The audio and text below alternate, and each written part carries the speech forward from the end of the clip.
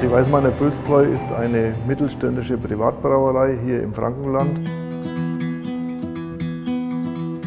Die Brauerei ist 200 Jahre alt, über 200 Jahre. Wir haben 100 Mitarbeiter, stellen sowohl Biere her, also vom hellen Pilz über Pilz, über Weißbier, alle klassischen Biersorten bis hin zu alkoholfreien Getränken.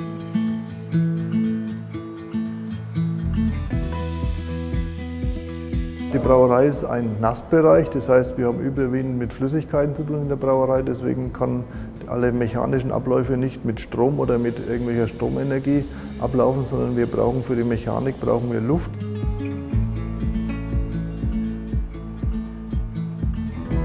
Hauptsächlich dann natürlich im Bereich der Flaschenabfüllanlage, weil hier wesentlich mehr mechanische Vorgänge zustande kommen.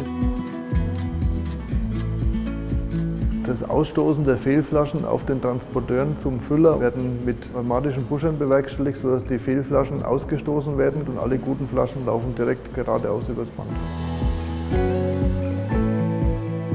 Um die leeren Flaschen aus den Kästen zu heben, werden sie mit Hubzylindern herausgehoben. Das heißt, die Flaschen werden pneumatisch angepresst, am Kopf oben werden genommen, werden herausgehoben aus dem Kasten, laufen dann durch die Flaschenabfüllanlage.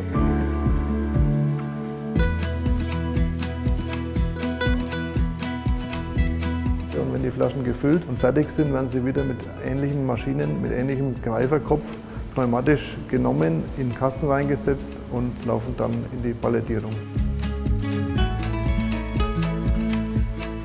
Wir haben den ersten Drehzahnkompressor im Jahr 1997 gekauft. Das war eine kleine Maschine mit 30 kW. Jetzt ist die neueste Maschine eine 55 kW Maschine, die seit kurzem bei uns läuft die ersetzt die anderen beiden Kompressoren, sodass die anderen beiden Kompressoren hauptsächlich Standby-Maschinen sind. Die große Maschine, die neue Maschine, fährt die Hauptlast ganz alleine. Großen Luftbedarf haben wir bei der Abfüllanlage zum Ablausen der Flaschen, weil die Flaschen sehr kalt abgefüllt werden und nach dem Abfüllen nochmal mit Wasser gespült werden.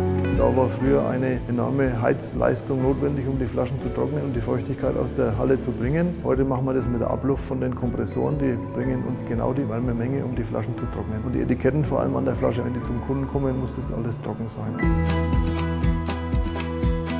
Die wesentliche Entscheidung für die Drehzahnkompressoren von Atlas Copco war die, dass wir mit absoluter ölfreier Luft arbeiten können. Und es wäre fatal, sowohl fürs Bier als auch für die alkoholfreien Getränke, wenn hier Öl nachweisbar wäre. Wir können alle Pneumatikklappen mit ölfreier Luft versorgen und damit ist die Sicherheit gegeben, dass ins Produkt kein Öl reinkommt.